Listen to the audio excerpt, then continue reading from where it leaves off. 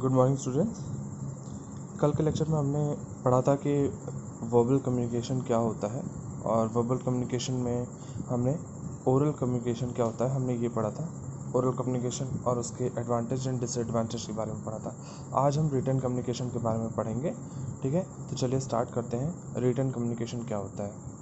सो so, पहले मैं आपको रिव्यू दे दूँ कि रिटर्न कम्युनिकेशन वो एक ऐसा ऐसी प्रक्रिया है जिसमें हम जब भी कोई अपना इन्फॉर्मेशन कोई आइडिया कोई थॉट्स हम लिख कर प्रोवाइड कर रहे होते हैं किसी को, या लिख कर उसे भेज रहे होते हैं, या मैसेज सेंड कर रहे होते हैं तो वो हम उससे रिटर्न कम्युनिकेट कर रहे होते हैं रिटर्न वे में कम्युनिकेट कर रहे होते हैं, ठीक है? तो ऐसी चीज़ें जब हम किसी को लिख कर कोई चीज़ बताते हैं तो वो हमारा रिटर्न कम्युनिकेशन के थ्रू कम्युनिकेट करना हो गया, ठीक है? चलिए पढ़ते हैं क्या लिखा है इसमें। It involve sending messages in the form of written words to convey information यानी इसमें जो भी इंफॉर्मेशन होती है, उनको भेजने के लिए हम रिटर्न वर्ड्स के रूप में मैसेज भेजते हैं, ठीक है? Written communication is the most formal form of communication जो रिटर्न कम्युनिकेशन होता है हमारा, लिखित संचार का माध्यम होता है, वो बहुत ही फॉर्मल वे होता है किसी से कम्युनिकेट करने का। It is an innovative activity of the mind that involves a careful choice of words and their placement in the correct order. It means, जब भी हम रिटर्न कम्युनिकेशन का यूज़ करते हैं, जब भी हम रिटर्न में किसी से कम्युनिकेट करते हैं तो ये एक ऐसी प्रक्रिया हो जाती है जिसमें हमारा जो माइंड होता है, वो शब्दों को बहुत ही सावधानी पूर्वक मतलब बहुत ही केयरफुल होकर अपने वर्ड्स को चूज़ करता है और उन्हें एक सही ऑर्डर में लगाता है कि हमें किस ऑर्डर में क्या चीज़ें बोलनी चाहिए, ठीक है? Example of written communication include letters reports resume brochure circulars memorandum contract notice et cetera इसमें दे रहा है कि कुछ एग्ज़ाम्पल दिए हुए हैं कि रिटर्न कम्युनिकेशन में हमारे letter reports resume brochure circular ये सारी चीज़ें या कॉन्ट्रैक्ट नोटिस ये सारी चीज़ें हमारी रिटर्न कम्युनिकेशन में आ जाती हैं। Nowadays written communication has become shorter and faster आज के टाइम पे जो हमारा रिटर्न कम्युनिकेशन है, वो बहुत ही कम समय में तेज़ी से जाने वाला एक माध्यम बन गया कम समय में तेज़ी से अपना इन्फॉर्मेशन भेजने वाला एक माध्यम बन गया है। जैसे S M S and messenger like WhatsApp email social media et cetera are some of the standard medium of written communication यानी व्हाट्सएप ईमेल सोशल मीडिया जिसका भी हम यूज़ करते हैं, वो हमारे एक रिटर्न कम्युनिकेशन का एक माध्यम बन चुका है आज के टाइम पे। हमें कम्युनिकेट करना होता तो हम उसके थ्रू किसी से भी कम्युनिकेट कर सकते हैं। For effective written communication the message should be meaningful concise and complete यानी किसी भी कम्युनिकेशन को इफ़ेक्टिव प्रभावी बनाने के लिए वो मैसेज ये ज़रूरी है कि वो मैसेज हमारा एक सार्थक मीन्स एक अच्छे वे में हो, एक मीनिंगफुल वे में हो, थोड़ा शॉर्ट में हो, संक्षिप्त हो, और कंप्लीट हो। मीन्स शॉर्ट में कंप्लीट होना चाहिए, और हम कम शब्दों में हम ज़्यादा चीज़ों को सामने वाले को बता पाएँ।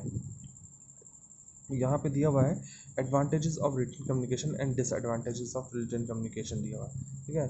तो अब इसके एडवांटेजेस के बारे में पढ़ते हैं। Written communication allows the sender to thoughtful thoughtfully draft clear and comprehensive messages it means जो रिटर्न कम्युनिकेशन होता है सेंडर को स्पष्ट और व्यापक मैसेज का एक जो कह सकते हैं, ढांचा या संरचना तैयार करने की, के लिए उसे सक्षम बनाता है। यानी हम भी, जब भी किसी से रिटर्न कम्युनिकेशन करते हैं तो पहले हम एक उसका, एक उसकी संरचना बना लेते हैं कि हमें किस वे में उन चीज़ों को, उन इंफॉर्मेशंस को, उन आइडियाज़ को दूसरे तक कन्वे करना है, ठीक है? Written written content has legal validity जो हमारा रिटर्न कंटेंट होता है, उसकी एक, उसकी वैधता होती है, इस तरह से कह सकते हैं, क्योंकि हम फ्यूचर में भी उस रिटर्न कंटेंट को यूज़ कर सकते हैं।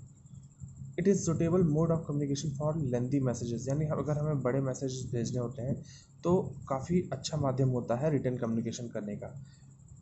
इसके कुछ डिसएडवांटेजेस दिए हुए डिसएडवांटेजेस ऑफ़ रिटर्न कम्युनिकेशन यानी written communication requires time for drafting the message तो मैसेज को बनाने के लिए रिटर्न कम्युनिकेशन में हमेशा काफ़ी टाइम लग सकता है। सपोज़ हम किसी को एक कुछ रिटर्न इन्फॉर्मेशन दे रहे हैं, कोई डॉक्यूमेंट हम, हमें भेजना है तो उसके लिए पहले हम एक एक ड्राफ्ट में हम पहले ड्राफ्ट के तरह हम बनाएँगे कि एक रफली वे में हम पहले एक स्ट्रक्चर तैयार करेंगे कि हमें क्या चीज़ें किस तरह, किस ऑर्डर में लिख के भेजनी है।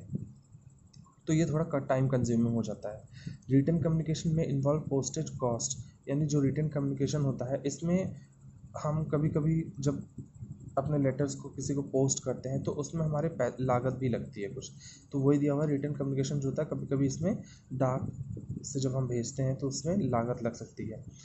Written messages causes feedback and consequently delay in decision making यानी जब भी हम रिटर्न मैसेज करते हैं तो उसमें हमें फीडबैक जो प्राप्त होता है तो उसके परिणामता जब भी हम फीडबैक को किसी से प्राप्त करते हैं और उसके अकॉर्डिंग हमें निर्णय लेने में या रिसीवर को निर्णय लेने में काफ़ी टाइम भी लग सकता है। वो चीज़ों को पहले मैसेज को पढ़ेगा उसे इंटरप्रेट करेगा फिर उसका फीडबैक देगा फिर कुछ डिसीज़न लेगा इन सारी चीज़ों में काफ़ी टाइम भी लग सकता है।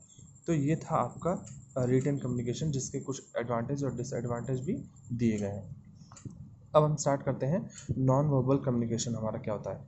नॉन वर्बल कम्युनिकेशन हमारा होता है कि जिसमें हम आ, किसी वर्ड्स के बिना या किसी फेशियल एक्सप्रेशन या जेस्चर के थ्रू हम किसी से बात कर रहे होते हैं तो वो हमारा नॉन वर्बल कम्युनिकेशन हो जाता है। पढ़ते हैं आगे इसमें। Non verbal communication means communicating without the use of words oral और रिटर्न यानी नॉन वर्बल कम्युनिकेशन का मतलब होता है किसी के द्वारा, किसी के साथ किसी वर्ड या ओरल या रिटर्न फॉर्म में कम्युनिकेट के बिना ही हम जब उससे कम्युनिकेट करते हैं। It can be effectively use to enhance our verbal communication यानी जब भी हम नॉन वर्बल कम्युनिकेशन यूज़ करते हैं तो है ये हमेशा वर्बल कम्युनिकेशन को कंप्लीट करता है कभी कभी और मैक्सिमम टाइम पे और उन्हें, उसे काफ़ी इफ़ेक्टिव बनाता है। ठीक है? It includes our body language gesture facial expression eye contact pointing fingers et cetera यानी ये हमारे जब भी हम नॉन वर्बल कम्युनिकेशन करते हैं तो इसमें हम हमारी body language gesture facial expression ये सारी चीज़ें आई कॉन्टैक्ट मेंटेन करना, ये सारी चीज़ें नॉन वर्बल कम्युनिकेशन को काफ़ी इफ़ेक्टिव बनाती हैं। जैसे हम किसी को अगर खुशी हमें ज़ाहिर करनी, किसी के, किसी को कोई पोस्ट मिली है, किस, और उसे हम, हमें उस, इस बात की खुशी है तो हम उस खुशी को ज़ाहिर करने के लिए हम उससे बताते हैं, साथ ही साथ हम उसे हक करते हैं या कॉन्ग्रेचुलेट करते हैं। तो हम वर्बल कम्युनिकेशन के साथ साथ नॉन वर्बल एक्सप्रेशन का भी यूज़ करते हैं। Next non verbal signs can convey thoughts and feelings in the absence of verbal communication जो हमारा non verbal non verbal way होता है कम्युनिकेशन का, वो हमारे वर्बल कम्युनिकेशन के एब्सेंस में हमारे थॉट्स को, हमारी फीलिंग्स को का, काफ़ी अच्छे से कन्वे भी कर सकता है या ये कहें कि वर्बल कम्युनिकेशन को को एक पूरक की तरह कंप्लीट कर सकता है। How we say something is often more important than what we say यानी हम किसी बात को कैसे कहते हैं इससे ज़्यादा ज़रूरी है कि हम क्या बोल sorry how we say something is often more important than what we say यानी हम क्या बोल रहे हैं उससे ज़्यादा इंपॉर्टेंट है, है कि हम उस बातों को किस तरह से बोल रहे हैं ठीक है?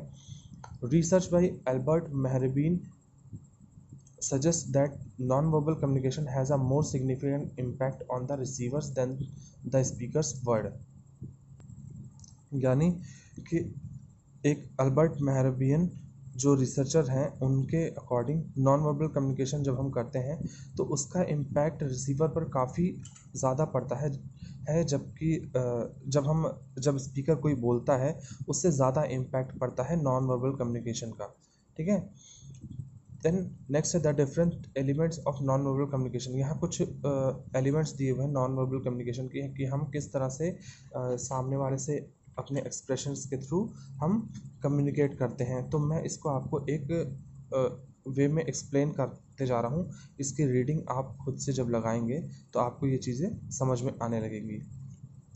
फ़र्स्ट इसमें फेशियल एक्सप्रेशन यानी फेशियल एक्सप्रेशन जब हम यूज़ करते हैं तो ये बहुत ही इंपॉर्टेंट होता है किस नॉन वर्बल कम्युनिकेशन में। क्योंकि हम जब भी हम अपना फेस किसी के सामने हम फेस टू फेस किसी से बात करते हैं तो उसका ध्यान हमारी बातों के साथ साथ हमारे फेशियल एक्सप्रेशंस पे भी होता है कि हम किस तरह से अप, अपने इमोशंस को अपनी फीलिंग्स को अपने थॉट्स को आइडियाज़ को किस तरह से हम सामने वाले पे प्रेजेंट कर रहे होते हैं।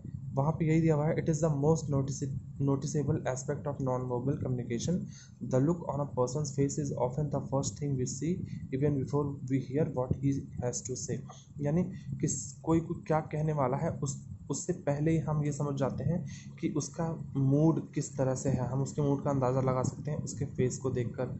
हैप्पी मूड है, है या फिर वो थोड़ा स्ट्रेस्ड है या किसी बात पे काफ़ी चिढ़ा हुआ है। ये सारी चीज़ें हम फेशियल एक्सप्रेशन देख कर इनका अंदाज़ा लगा सकते हैं। नेक्स्ट है जेस्चर जेस्चर क्या होता है? जब भी हम किसी शब्दों के बिना कम्युनिकेट कर करते हैं मीन्स हाथों के हाथों के तरह हाथों से इशारा करते हैं अपने एक्सप्रेशन से इशारा करते हैं या फिर आ, कोई ऐसा एक्सप्रेशन देते हैं जिससे सामने वाले को हमारा मैसेज कन्वे हो जाए तो वो कहलाता है जेस्चर जैसे यहाँ पर दिया हुआ है कि conscious hand and body movement and signals are an essential way to communicate without words यानी शब्दों के बिना हमारे हाथ और बॉडी की मूवमेंट्स के थ्रू हमारी ये सिग्नल्स जो हम देते हैं, उनके थ्रू हम अपन non verbal communicate non verbally हम किसी के कम्युनिकेट कर सकते हैं और अपना, अपने आइडियाज़ और अपने थॉट्स को हम उनसे एक्सचेंज कर सकते हैं। ठीक है? नेक्स्ट हम इसको आप इसको आप जब आप पढ़ेंगे तो आपको ये चीज़ें समझ में आएँगी। नेक्स्ट है हमारा voice means non non verbal communication जब भी हम करते हैं तो उसमें वॉइस जो हमारी, कभी भी हम वर्बल या नॉन वर्बल कम्युनिकेशन करते हैं तो उसमें हमारी वॉइस काफ़ी इंपॉर्टेंट होती है। यहाँ पे देखते हैं non verbal speech such as tone pitch volume modulation rhythm and rate are essential elements of communication means जब भी हम कम्युनिकेट करते हैं किसी के, किसी से तो हमेशा उसमें हमारी वॉइस हमारी टोन कैसी है वॉल्यूम हम किस तरह से लाउड या सॉफ्ट वे में बात कर रहे हैं, हमारी रिदम किस तरह की है, ये सारी चीज़ें बहुत इंपॉर्टेंट होती हैं। हालाँकि नॉन वर्बल वे में जब हम बात करते हैं तो तब भी हमें, हमारी ये चीज़ें ध्यान में रखनी होती हैं कि हम किस तरह से उस सामने वाले से इंटरेक्ट कर रहे हैं, क्योंकि क्योंकि नॉन वर्बल में हम अपनी वॉइस का यूज़ मैक्सिमम टाइम पे नहीं करते हैं। उस टाइम पे करते हैं जब हम वर्बल कम्युनिकेशन को नॉन वर्बल कम्युनिकेशन के थ्रू भी कंप्लीट कर रहे होते हैं। When we speak, other people read our voice in addition to listening to our words.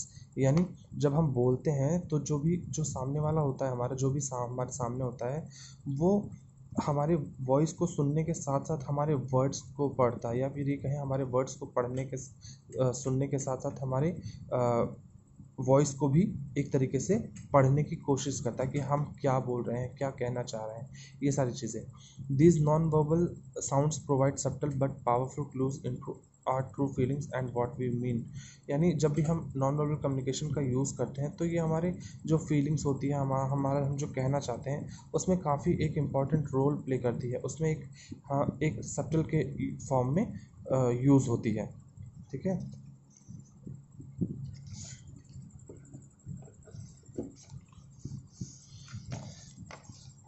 Next expect है हमारा बॉडी लैंग्वेज।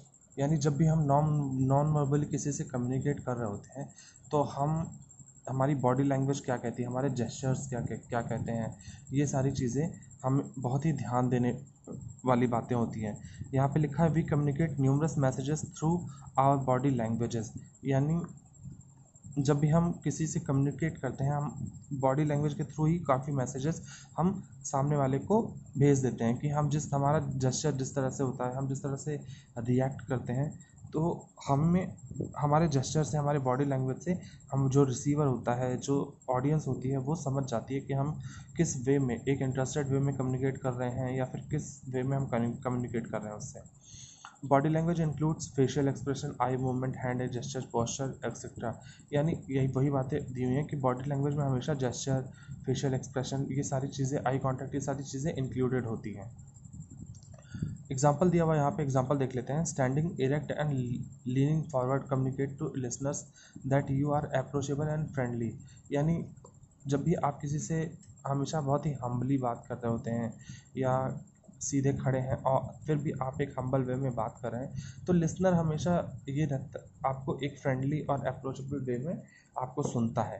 आपकी बातों को सुनता है, आपसे कनेक्ट करता है, ठीक है?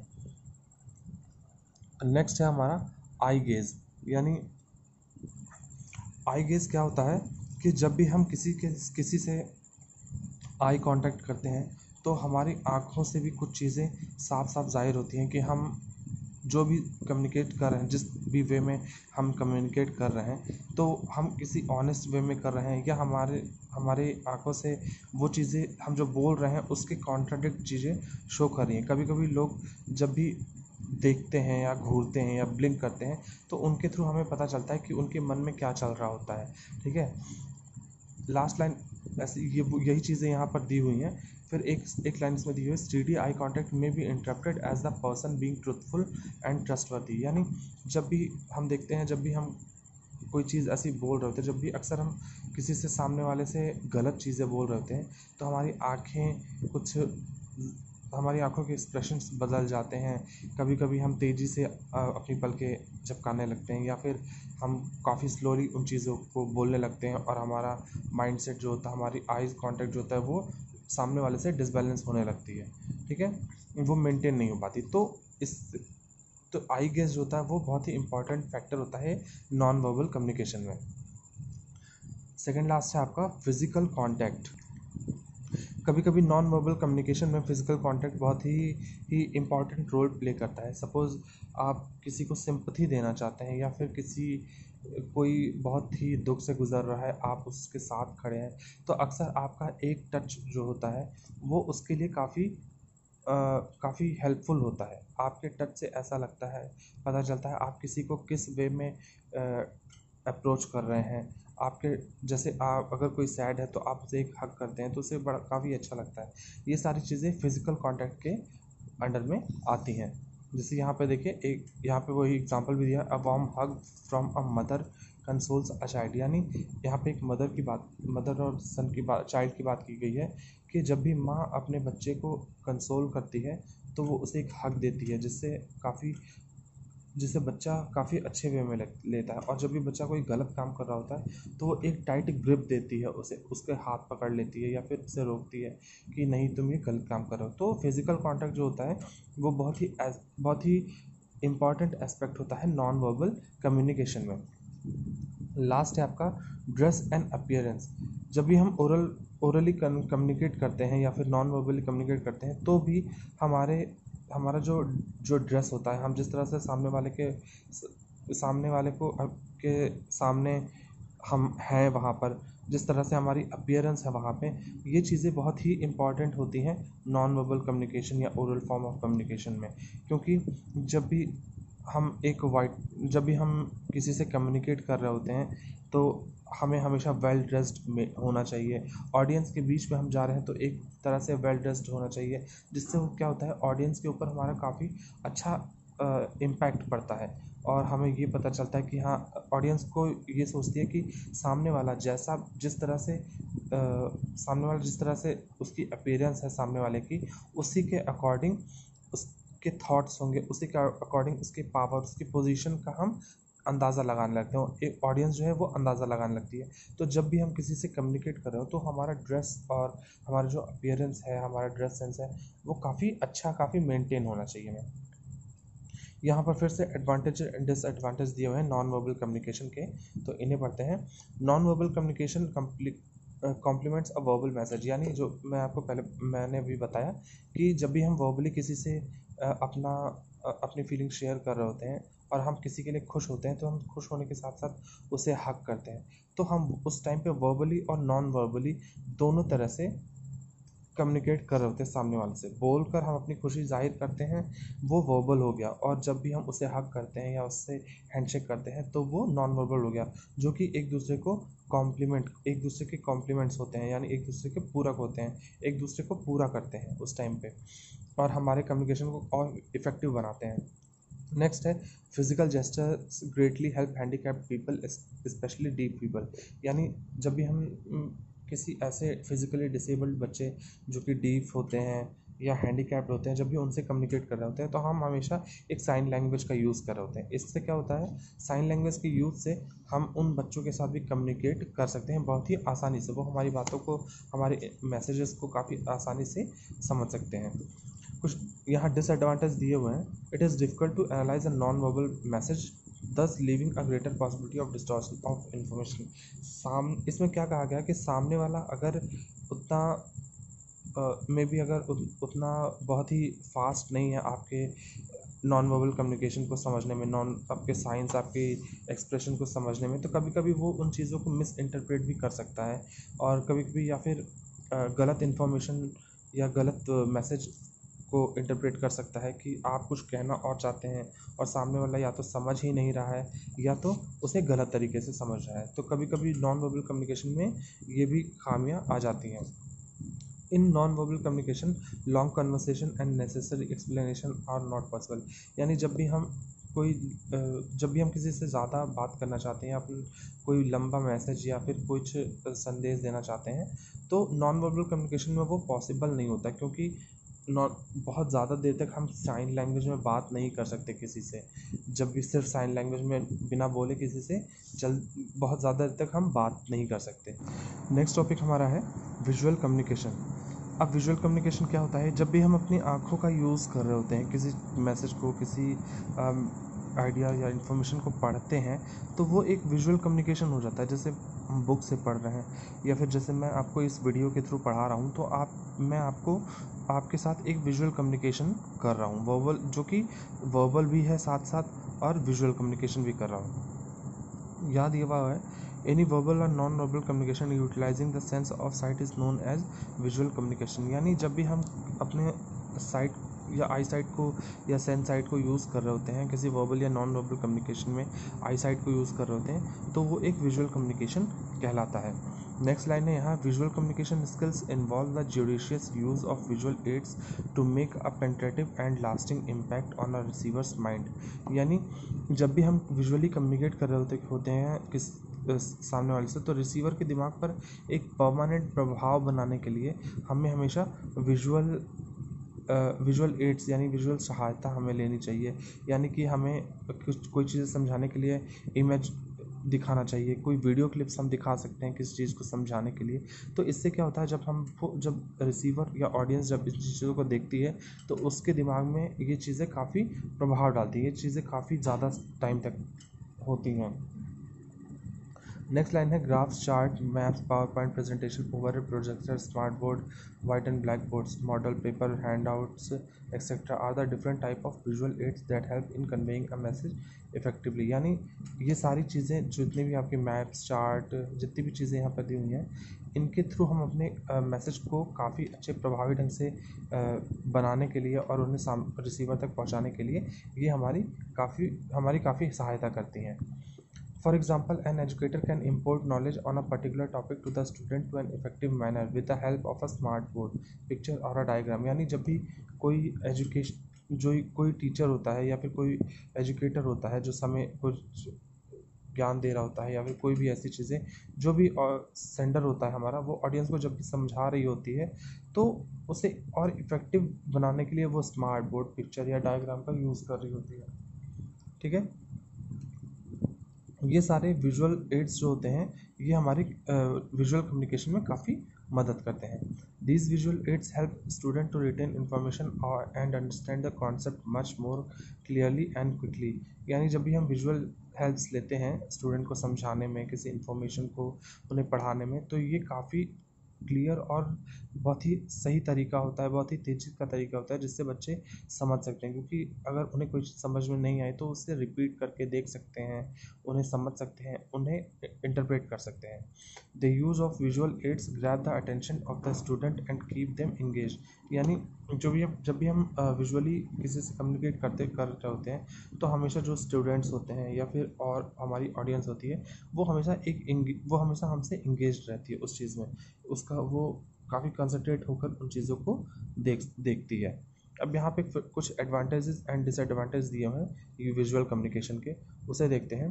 Visual aids like graph diagram model et cetera make oral communication more meaningful ये एडवांटेज है आपके कि हमारा हम जब भी डायग्राम ग्राफ या मॉडल्स का यूज़ करते हैं तो हमारा जो ओरल कम्युनिकेशन होता है, वो और भी ज़्यादा मीनिंगफुल बन जाता है। ठीक है? Use of visual aids make complex data easy to comprehend यानी कोई भी ऐसा डेटा होता है, जो काफ़ी टफ होता है समझने में, जिसे इंटरप्रेट करने में ऑडियंस को या फिर रिसीवर को मुश्किल हो रही होती है तो विजुअल हेल्प की सहायता से वो इसे काफ़ी अच्छे से कम्युनिकेट कर, काफ़ी अच्छे से समझ सकता है। ठीक है? कॉम्प्लेक्स डेटा को बहुत ही ईजी वे में समझ सकता है। Visual aids make the communication more interesting यानी जो भी हम विजुअली कोई इमेज डालते हैं या फिर कोई वीडियो डालते हैं तो उससे जो हमारी ऑडियंस होती है, जो हमारा रिसीवर होता है, जो हमारे स्टूडेंट्स होते हैं, वो काफ़ी अच्छे से उसे समझ पाते हैं और बड़े इंटरेस्ट के साथ हमसे कम्युनिकेट करते हैं, बड़े इंटरेस्ट के साथ हमारी बातों को सुनते हैं। डिसएडवांटेज क्या हैं इसके? कि some of the aids use in visual methods of communication are costly मतलब कुछ जब भी हम विजुअली कम्युनिकेट कर होते हैं तो वो काफ़ी महँगे भी हो सकते हैं कभी कभी क्योंकि कुछ चीज़ें समझाने के लिए हमें ऐसा होता है कि हमें कब प्रैक्टिकल करके वो चीज़ें बतानी होती हैं, या फिर कुछ ऐसे इंस्ट्रूमेंट की ज़रूरत होती है, जिनके थ्रू जिन, जिनका हम प्रैक्टिकल करते टाइम वीडियो बना रहे होते हैं और फिर उसमें वो काफ़ी कॉस्टली भी हो जाती है वो सारे सामान, ठीक है? And sometimes visual presentation of information becomes complex यानी कभी कभी हम जब ज़्यादा इंफॉर्मेशन को स्टोर कर रहे होते हैं, जब हमें ज़्यादा इंफॉर्मेशन बना, बतानी होती है और हम उसमें काफ़ी ज़्यादा कॉम्प्लेक्स मेथड्स को यूज़ करने लगते हैं या काफ़ी ज़्यादा चार्ट्स या ग्राफ्स को यूज़ करने लगते हैं तो वो कभी कभी कॉम्प्लेक्स बन जाता है, हमारा जो विजुअल कम्युनिकेशन होता है। Sometimes visual techniques take much time to communicate यानी कभी कभी ये जो कम, हमारा मेथड होता है, और विजुअल कम्युनिकेशन का, ये कभी कभी बहुत टफ हो जाता है, या बहुत, कभी टाइम कंज्यूम हो जा कंज्यूमिंग हो जाता है, हमारे या फिर टेक्निकल इश्यूज़ हो जाते हैं कभी कभी या फिर हम उन चीज़ों को एक्सप्लेन करते हैं काफ़ी डिटेल में काफ़ी शॉर्ट वे में तो कभी कभी ये भी इसके डिस डिसएडवांटेज होता है हो जाते हैं विजुअल कम्युनिकेशन के। तो इस तरह से विजुअल कम्युनिकेशन जो है ये आपका सेकेंड यूनिट का सेकेंड चैप्टर का लास्ट टॉपिक था। इस अब इसके बाद हम अपना नेक्स्ट यूनिट जो है न, जो है चैप्टर थ्री वो हम स्टार्ट करेंगे और उससे पहले हम अपना एक जो असेसमेंट हमारा बाकी रह गया वो हम नेक्स्ट लेक्चर में करेंगे ठीक है?